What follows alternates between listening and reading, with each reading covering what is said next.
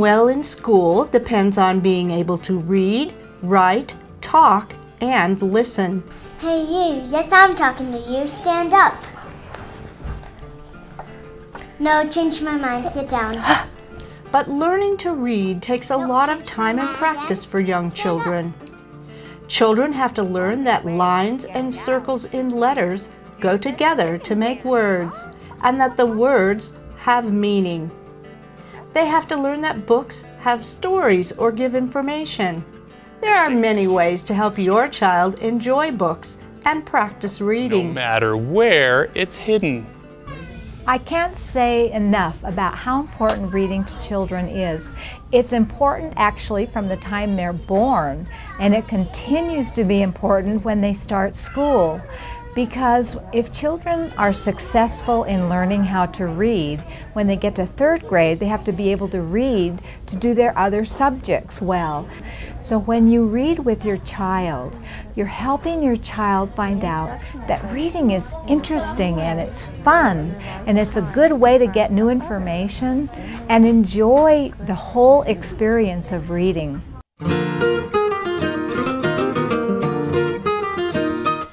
A great way to help your child practice reading and become a better reader is to have books at home for him to read.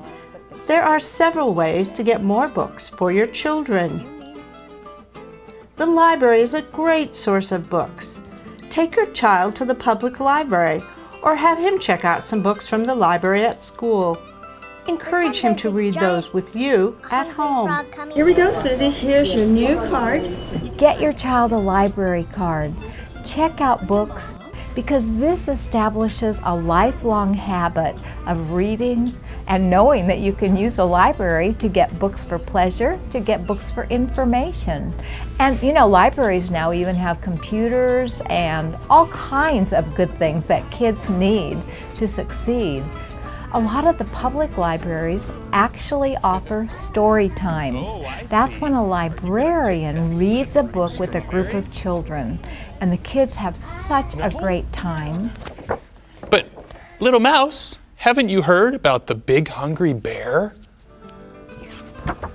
Yeah, the big The end. He already ate it. The library also has surplus book sales where you can often find inexpensive children's books. Many thrift stores or used bookstores have used books for children that do not cost a lot of money. Many yard and garage sales have children's books for sale. See if friends or neighbors have children's books that they don't use. Maybe they will lend or give them to you. We're out of breath. Trade books with friends who also have young children. The more books children have to read at home, the more fun they'll have in practicing reading. Wait, the tiny tickly bug is out of your mouth, but now it's in your shirt? Oh, oh my goodness. It also says you could count the stars and become an astronomer.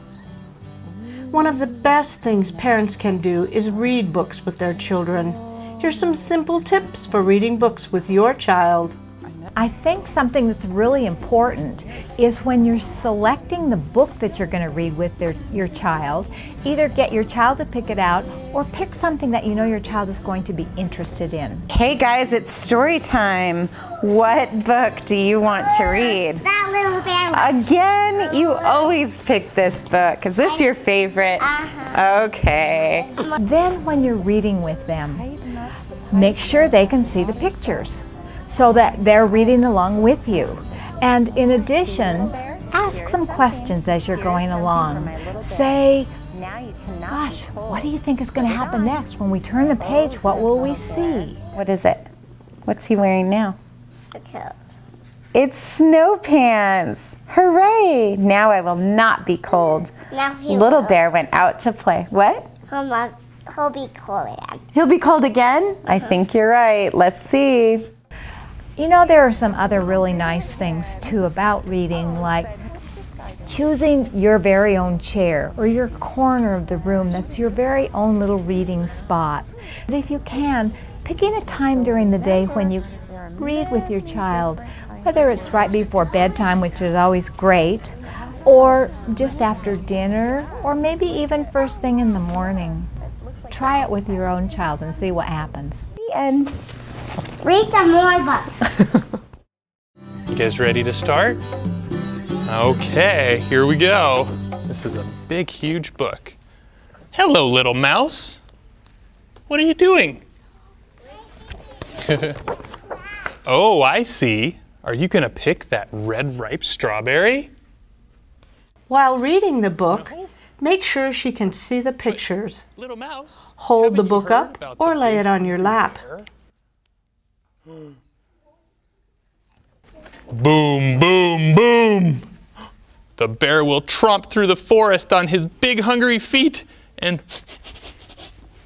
sniff, sniff, sniff. Find the strawberry. You're safe. Try you're using fun voices. Watch your child no as you read the book. Where Is she happy, sad, interested? See how she follows the story. Or who is guarding it?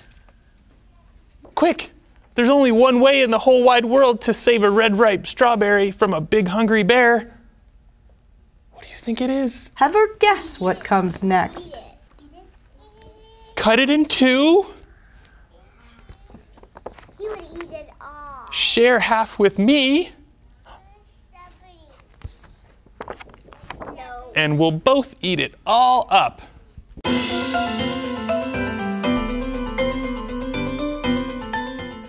Words are all around us food labels, signs, menus, text messages. A great way to help children practice reading is to read the words around them. We sometimes think that that learning how to read and reading is something that happens at school and that the teacher teaches our children how to read and gets them to practice reading. But nothing is more important than giving your child lots of opportunities to read things to you. That really helps children learn to read well, to recognize words, and to understand. Help! Make a scary face now! Here are some fun ways to help your child practice reading every day. You doing your homework? Yeah. Have her read her school books or assignments to you. When you're out for a walk or drive, have her read the street signs. At the grocery store, have her read the labels on food packages. Have her read the labels and find what you want to buy. Have a regular time when she reads to a younger brother or sister, a neighbor, a grandparent, a pet, or even a stuffed animal. Have her read the labels on cereal boxes, soup cans, and other food packages in your own kitchen. So we need two cups all-purpose flour. All right, hold on. Have her read the recipe to you when you cook or the directions for using a tool. Have her read the outside of an envelope that comes in the mail. Ask a grandparent or other relative to send your child a letter. Have her read it to you. Look for fun reading games on the computer or smartphone. Let's check these out. There's really a lot to choose from. K N O B. No! Send your child a note or email on a smartphone. Have her read it to you. Hmm. Nick and Lily's favorite. Have her read the menu at a restaurant. Low down. Jim's creation. Watch children's shows on public television with your child and have him read along.